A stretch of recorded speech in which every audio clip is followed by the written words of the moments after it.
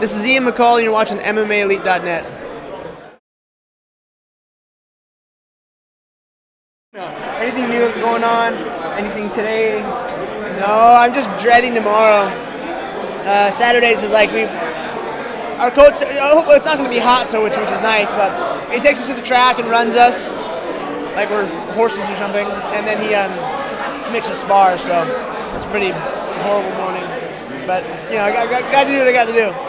So, any any um like what's your team like right now? Who are you training with, and are you Uh, helping anyone train? I saw some pictures. Yeah, well, it's Team Oyama, obviously. Um, we have BJJ Worlds coming up. I don't know if I if I'm gonna if I have a fight in December, I can't do it. But uh, Ron Skolzing just fought. He knocked his guy out in 26 seconds or something. Um, Anthony Frank supposedly won. I, I didn't see. it. I guess he he dominated the fight and got a bad call, which happens a lot in the sport. So I mean, it's his own fault for not trying harder and you know finishing. Um, you know, we got a bunch of good BJJ guys. Uh, the fight team right now, as far as who's fighting, is pretty small, uh, but we have a lot of guys, a lot of kickboxers too. So I think Romy, Romy is fighting in December. I think I don't know where. I think maybe in New York or uh, K1. And then um, so in the the big I, I forgot to actually ask you this last time, but uh, the biggest news in MMA right now is Jon Jones and Chael Sonnen. I mean, that's just what's going on. Yeah. What are your thoughts on on Sonnen getting the shot? A lot of people are. Uh, yeah, of course, he doesn't deserve it, but whatever. I, I mean, UFC does strange things. It's going to make everyone money. It's going to promote the show. I, I mean, I think it's BS. What are your thoughts on Chael? As a as a fighter person. As a fighter, he's a good fighter. You know, I mean, he wins. He wins constantly, but um, you know, a little boring. But he's the best trash talker in, in MMA.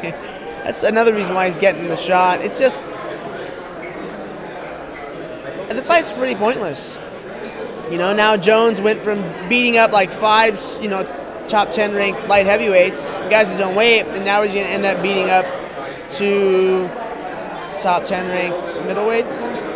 So that's kind of weird, but whatever. I mean, uh, I don't know, man. It's I think it's I think the whole thing's silly, but they- you know Dana has a plan, so it's his business. And do, you, do you have any thoughts about him not not wanting? Because everybody wants to see Anderson Silva and Jon Jones. Yeah. Do you have any thoughts on how they say they don't want to fight each other and? I think they're both afraid of losing. So maybe not outwardly, but I mean subconsciously they are. No, nobody wants to lose, and I think I, I think Jon Jones would beat the, beat the crap out of him. Jon Jones is smart. He's going to take him down, and I don't think he's going to get submitted. Even though I think Anderson might have better jiu-jitsu than Vitor, and Vitor almost caught him, but I, I don't see it. I see it going pretty bad for Anderson. You never know. Anderson could you know, do something. I, I you can never never count the guy out, but I think Jon Jones is too big and too good. Very cool. Do you, do you know any of the guys fighting tonight, or Uh, yeah, Chris is fighting Saunders.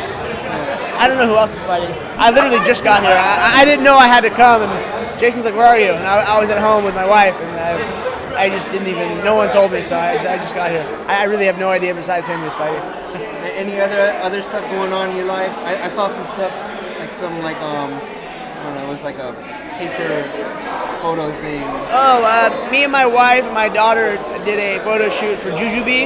It's like a handbag, baby bag company that they sell like Saks Fifth Avenue and stuff. My friend owns it.